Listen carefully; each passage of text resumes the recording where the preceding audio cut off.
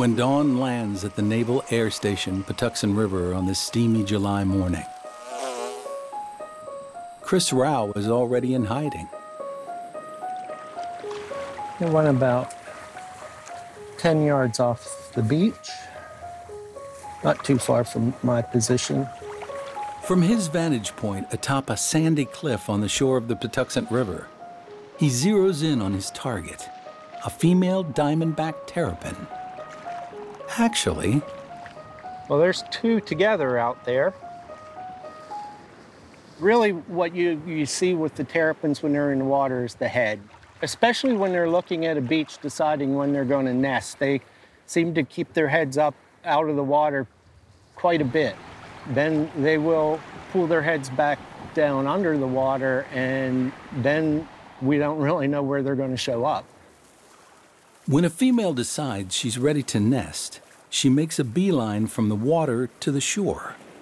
Terrapins seem to love this spot in particular, a remote beach surrounded by marsh and forest that also happens to be home to one of the Navy's helicopter landing zones. So each summer, nesting season, helicopters land elsewhere, all to accommodate Maryland's state reptile. That's when Chris, an assistant professor at the University of Maryland's Chesapeake Biological Laboratory, just across the river in Solomons Island, returns to study these terrapins. We are examining how diamondback terrapins are responding to the changing climate. We're looking forward and trying to project how they'll respond to climate change in the future, but we're also trying to get a handle on what's happening with the populations now because climate change is, is happening as we speak. One question Chris wants to answer how will sea level rise impact the terrapin's habitat? It's an important one because terrapins, unlike other turtles, are uniquely adapted to life in brackish or slightly salty environments, like the marshes in and around the Chesapeake Bay. We don't see terrapins in the sea, in the open ocean. We don't see them in the fresh waters. They're restricted to this brackish environment because they've specialized for it. In Maryland, half of the terrapin's current nesting ground is expected to be underwater in the next 30 years. By the end of the century, more than three quarters will be claimed by the tides. But it's not just sea level rise that threatens the terrapin's reproduction. Like many other turtles, a terrapin's sex is determined by the temperature of the nest during the incubation period. In simple terms, the hotter it gets, the more females will hatch. One of the things that we're concerned about is as it gets warmer, we're going to see a, an excess of females and a much lower abundance of males. Chris wants to know more about the factors that influence the sex of the embryo. And for that, he needs to link the mothers to their nests, which is why he waits and waits to catch nesting females in the act. There's nothing more frustrating than a close call. While Chris waits, Rebecca Stump, a natural resource specialist with the Navy, combs the beach, searching the sand for signs. I'm looking for terrapin tracks. Consistently, they come up out of the water. They're going to crawl up, find a spot, lay, and turn around. So we're looking for entry tracks and we're looking for return tracks. Nothing yet, but she's already found one nest today. So this particular nest was laid earlier today, and I just threw a predator exclusion device, a PED, over it. But we're gonna go ahead and move it a little bit further up so that if we have any major storms, it's not completely inundated. So I'm gonna go ahead and pull back the sand gently until I see the first egg. Hopefully they're still pink, which indicates a fresh egg. After several hours, they start to turn white, and we call that chalking.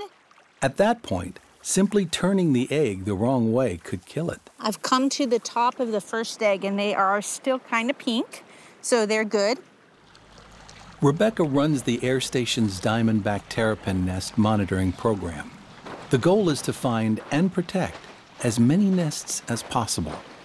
This is the 66th nest this year. I have a couple of tools that I use. Rebecca carefully weighs and measures each egg. I have a pair of calipers that go down to millimeters. Actually, it goes down to tenths of millimeters. Recording data that will be shared with Chris and other researchers. That's a ginormous egg, way outside the average size. Well, these all are. Female terrapins rarely come ashore except to nest, once, maybe twice each summer. The turtles here seem to wait until right around Independence Day to lay their eggs. It's a busy time for Rebecca and her team. All right, for the last step, after we've weighed and measured all the eggs, I'm gonna go ahead and cover up the nest. And now, perhaps the most important part a black milk crate fashioned with a protective mesh is what Rebecca and her colleagues call a predator exclusion device, or a PED. All right, the nest is pretty secure. If I can't wiggle it, then a predator's highly unlikely to get in here. The only clue a mother leaves behind after she covers her nest is her scent, which lingers for a day, beckoning to coyotes, foxes, and skunks. Those predators that get lucky leave little behind, beyond an empty hole and a few eggshells. This program started in 2013, and that first year we didn't really make a big effort to protect the nests. We had like a 90% predation level when without protecting them. These days, predators rarely get a nest. Back at Chris's end of the beach, it's been a disappointing morning. Today, we didn't do very well. In other words, we didn't get anything.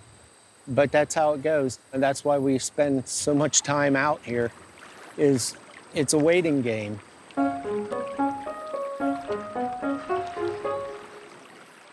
Although Chris didn't catch any females today, he did find a nest that he'll take back to the lab to incubate and hatch.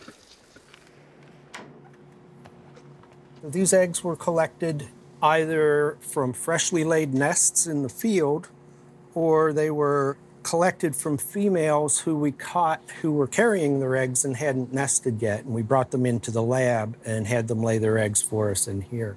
Each one of these containers is a different nest or clutch.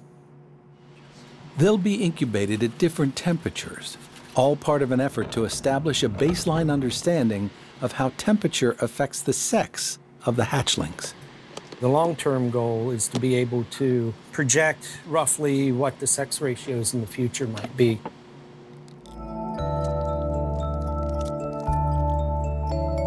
Nearly two months later, the eggs in Chris's lab begin to emerge.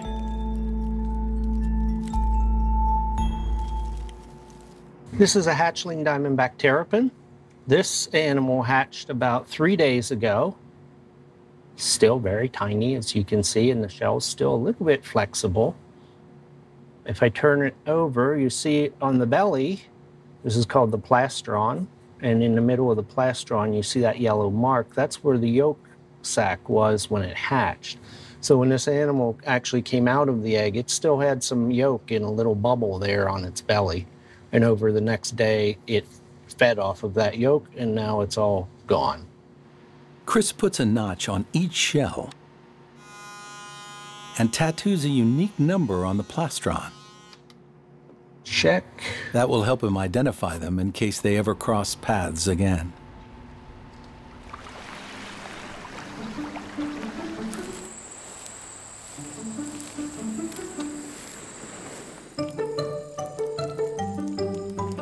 We've got these animals back at their nesting site.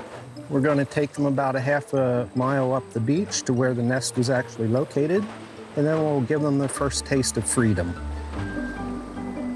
And if the web of tiny tracks crisscrossing the sand is any indication, Chris's terrapins will be in good company. There are a couple sets of tracks right there. This is a nest that has eluded both Rebecca's group and, and my group, and it's it's fortunate that that it, it also eluded the predators.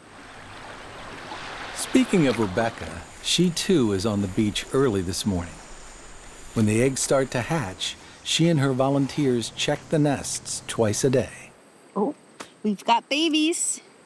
I count 11 on the surface. Oh, this is good. So I'm gonna pull this up real quick. I'm gonna shake it. Oh, see, I got some hanger honors. Yep, there's another one right here. He's stuck up in here. Okay, make sure there's no more in here. And then I'm gonna scoop them up. Oh, this one's already going under. One, two, three, four, five, six, seven, eight, nine. Rebecca's records show 15 eggs were in this nest, but there are only 11 hatchlings. Before she goes further, she needs to account for them all. And what I found was a whole bunch of ants. And I dug further, and first thing I found was a pink egg. So this egg never started development. We have a almost fully developed baby turtle that for some reason ants got into it. It's tough to be a terrapin, even with Rebecca's help. The next step is to weigh and measure each youngster. Be still. The difference between babies and a nest can be pretty drastic. That's because a single nest can have genetic material from multiple fathers. Once the data is collected, it's time to let the babies go. We're gonna release these guys right at the edge of this grassy area leading to a marsh so they can kind of choose where they wanna go.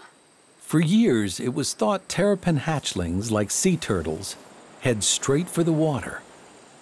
But now, scientists believe most of them spend their first year on land, living in the forest or the marsh grass. They take a moment to get their bearings, and before long, they're gone. The time has come for Chris, too, to say goodbye to his hatchlings. So this is the part where we wish them the best and introduce them to Mother Nature. I hope she treats you well, little ones. And with that, they're off, taking their first steps into a world that some will not survive, but some will. And when they return to nest, the cycle will begin once again.